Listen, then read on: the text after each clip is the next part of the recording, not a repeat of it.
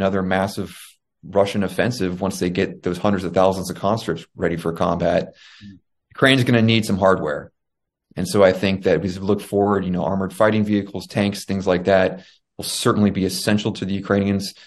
Ammunition, artillery, shells are going to be extraordinarily important so they can maintain the rate of fire on the battlefield and also air defenses. Um, you know, Russia has embarked on this strategic air campaign of missile and drone strikes to to destroy Ukraine's power grid, to terrorize civilians. And to date, Ukraine's air defenses have done an extraordinary job.